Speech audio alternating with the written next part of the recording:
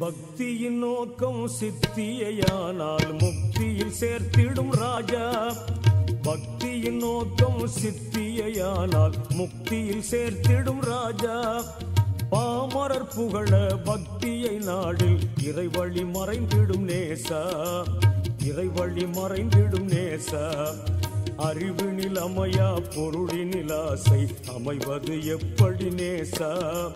அறிவினில் அமையா பொருளினில் ஆசை அமைவது எப்படி நேசா?